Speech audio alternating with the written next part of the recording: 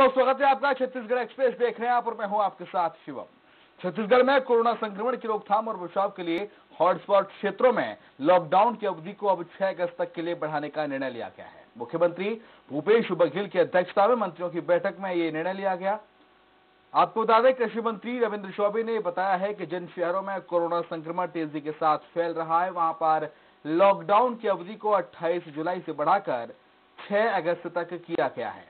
बैठक में स्वास्थ्य विभाग के वरिष्ठ अधिकारियों को राज्य में कोरोना संक्रमण की रोकथाम और उपचार हेतु स्वास्थ्य सेवाओं को और अधिक प्रभावी बनाने के लिए, साथ ही अस्पतालों में कोरोना के इलाज के लिए बेड की संख्या बढ़ाने, लैब टेक्नीशियन एएनएम और स्वास्थ्य कार्यकर्ताओं की पूर्ति, जिला खनिज निधि न्यास मद से करने के निर्देश जिला कलेक्टरों को दिए गए हैं। बैठक में खरीफ फ़सलों की सिंचाई के लिए 28 जुलाई से ही जलाशयों में पानी छोड़ने का भी निर्णय लिया गया।